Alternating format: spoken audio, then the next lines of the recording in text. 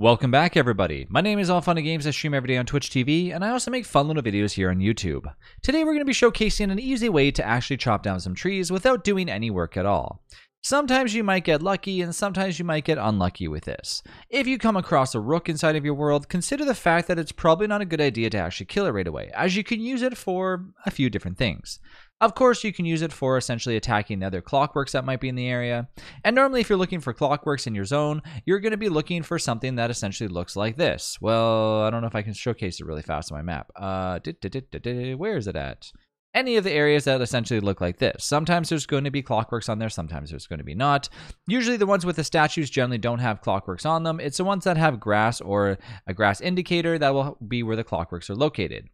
Then, when you actually find that location, you can sometimes get yourself a rook.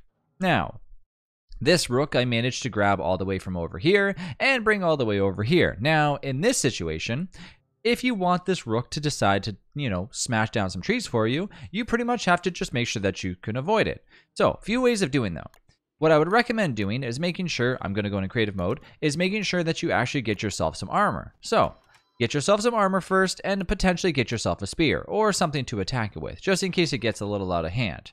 Okay, I'm now ready to start the process. Hey Rook, how you doing? You're not going to approach it too close, but you're going to get within the vicinity as a Rook pretty much will know when you're getting close. And as soon as it does so, it's going to smash through every single tree.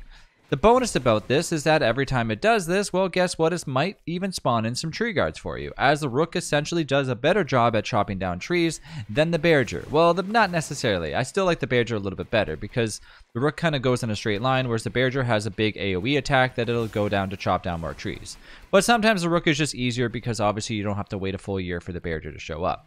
But anyways, this is how you get the rook to decide that if it wants to just smash up things instead of actually focusing on you, it'll keep going and going and going. And then now I can walk away from it and just easily gather some trees. Um, and that is pretty much it. If you decide that you eventually want to kill the rook, that's entirely up to you, as it's probably a better idea than letting it just roam around the world, and in case somebody in your server decides to walk around, all of a sudden they get surprised by a rook. What I usually like to do though is I like to keep planting some more trees on the vicinity. So essentially out here, I'll start planting more and more trees, and then eventually I'll bring the rook back over there. The one thing is though with the rook is of course you have to actually dig up all the stumps because it's not going to take that away. So take your time to make sure that you do that safely without getting hit by the clockwork. Thanks again for watching. I'll see you in the next one.